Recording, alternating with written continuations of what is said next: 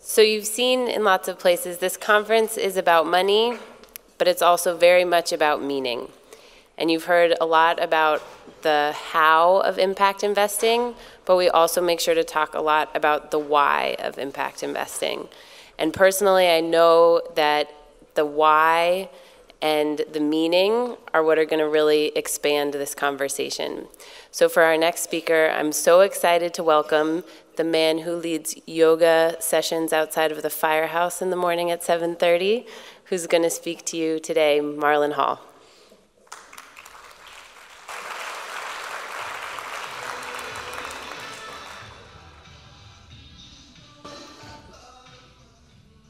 Oh, I like that music. That's nice.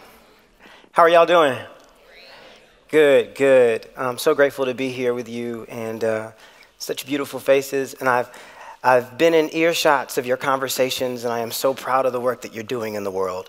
Uh, why you do it, what you do, and how. So grateful. And her name is Phoenix. And uh, Phoenix Alexandra Hall is the best thing since sliced bread, I'm telling you right now. In fact, she's better than vegan sausage. You know what I'm talking about? Good for you, good to you. And uh, she's my daughter. My ex wife and I were hoping to have a baby, and uh, we, we couldn't for eight years. Our expectations would burn to ashes with each month. And so we named her Phoenix because she rose from the ashes of our burned expectations. And she is a tangible manifestation that dreams do come true. And uh, one day I was laughing and playing and playing and laughing with Phoenix and um, she said, You know what, Daddy? She said, All the things that you do really don't matter. I was like, Little girl, how you know? You're eight. All the things Daddy does feeds us. She was like, No, no, no. All the things that you do don't matter. She said, Daddy, it's all about who you be. It's all about who you be. She said, Be better today, Daddy. Don't do better today, Daddy. She's eight. She's a prophet. Would you turn for 30 seconds, maybe 45? Turn to the person next to you and tell them why you want to be who you are here today. Why you want to be who you are here today. In one word, what's your why? In one word, what's your why? Turn and talk. Turn and talk. Hey, damn, that sounds hard.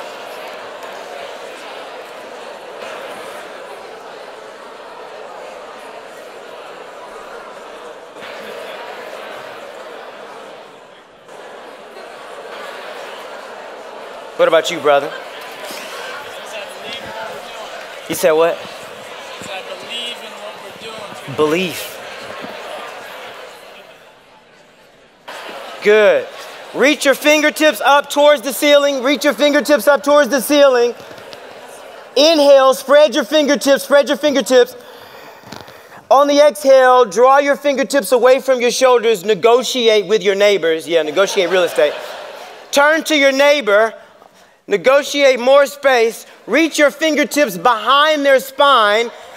In Sanskrit, it's called a hug. It's, it's a yoga posture. It's called a hug, y'all. It's a hug. It's a hug. In all of your doing, in all of your doing, it is essential that you do from who you be. Because only when you do from who you be will what you do make the biggest impact. In fact, we've been so fastened to doing, even at the intersection of meaning and money, that we've become a wreck oftentimes. Because we do, do, do until life becomes doo doo. But there's hope. The hope is that you can turn the doo doo into something that can fertilize your future. We have 69 69 days until a new decade. 69 days until you can open up a new realm for the next 10 years for what you want to do. And I challenge you to not do what you want to do next from what you do, but do it from who you be. So I, uh, I picked up the phone and uh, I can hear her inhale. I can hear her exhale. And to be honest with you, she sounded more grounded than she'd ever been. And uh, I said, hello? And out of nowhere, with an urgency of purpose, she said, You've been doing more than you've done in your entire life, and I'm proud of you, and you've become more of who you've been. She said, But you've become the man that I did not marry, and I want a divorce. You laugh. I didn't. I cried. I cried because it was not just a divorce from this woman, but a divorce from a way of life that I thought I was working for. I thought the work was not an end, but a means to the end of this willful, whimsical, wonderful life that I was developing a family, a family that I had dreamed of having when I was in middle school. Most of my mates wanted to be basketball players and investment bankers. I wanted to be a daddy and a husband. But all of the work that I was doing did not lead to that end, it led to a different end.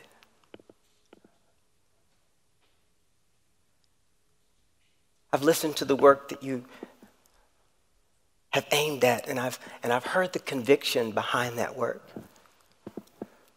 And I want to invite you into the space to where you acknowledge that who you be when you pour into your being will make room for the kind of doing in the next 10 years that will exponentially transform all of humankind. And if you would just for a moment be vulnerable enough to maybe admit that most of your doing has been the end and not your being. Started over seven businesses. Did over four innovation incubators that incubated 98% success of over 152. I did say 52. You got to get that two in there. 152 businesses. And I thought I was really doing it, y'all. But in all of my doing, I was losing my being. Today is the day that you remember you heard a vertically challenged yet slightly handsome black man invite you into what's next for what you do. In fact, I'd like for you to take a few moments to open up the space in your heart that will allow you to be vulnerable enough to remember why it is that you do what you do. For only from the why will you imagine the new possibility of a what that's rich and beautiful and powerful. Sometimes we get so focused on the what, the when, the where, and the how, and even the who with that we forget the why. We get amnesia because the trauma of keeping the what up keeps us from the beauty of the why. So today, with this opportunity that I have to speak before those of you who, like me, are so focused on doing good work at the intersection of meaning and money that you sometimes forget who you be. I challenge you to reverse engineer all of the whats, the whens, the wheres, the hows, and the whos back to the why so that the why can bring you a new imagination, a new imagination for a decade that you will look back on as the significant decade that represents not just all the good stuff you did, but the great person you became. Place your right palm on your right knee. Left palm on your left knee. Sit up straight. Inhale, breathe in through your nose. Open up your mouth side out. Inhale, breathe in again. Open up side out. Some of you logical, mathematical, sequential order, and process oriented people are like, can we do more than this? No. Just be here. Inhale, breathe in. Open up your mouth side out. Gently close your eyes and allow your eyelids to connect in a way that feels intimate, tender. Remove your tongue from the roof of your mouth. Slightly open up your teeth and your, your lips. Inhale, I am here. Exhale, I am now. Inhale, I know my why. Exhale, I move from it. Inhale who you be. Exhale who you ain't.